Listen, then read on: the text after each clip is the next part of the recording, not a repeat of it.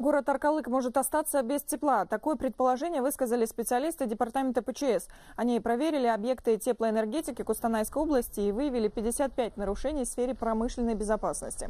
Особую тревогу у них вызвало положение дел в Аркалыке. На предприятии АТЭК не отремонтировали основной теплоэнергетический котел. Это может стать причиной перебоев стабильного теплоснабжения, считают в департаменте. При этом проблем с поставками мазута, на котором работает ТЭЦ, нет, говорят честники. На отопительный сезон необходимо необходимо 27 тысяч тонн жидкого топлива. Оно поступает небольшими партиями. Пока в запасниках находится всего 6 тысяч тонн мазута.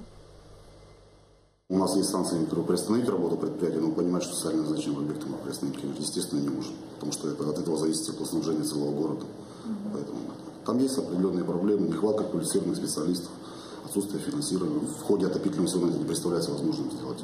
Поэтому эта проблема так будет в течение всего отопительного сезона и conhecido.